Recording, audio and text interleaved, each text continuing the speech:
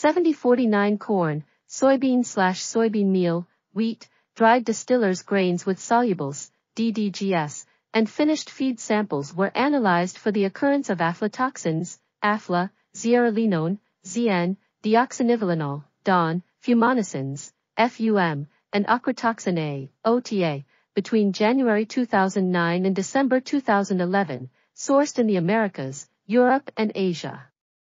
AFLA, ZN, DON, FUM and OTA were present respectively in 33%, 45%, 59%, 64% and 28% of analyzed samples between 2009 and 2011.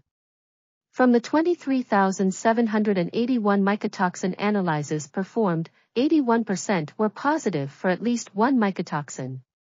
Results are provided by calendar year, commodity type, region, and mycotoxin occurrence. This article was authored by Inês Rodrigues and Karin Naehrer. We are RTCL.TV, links in the description below.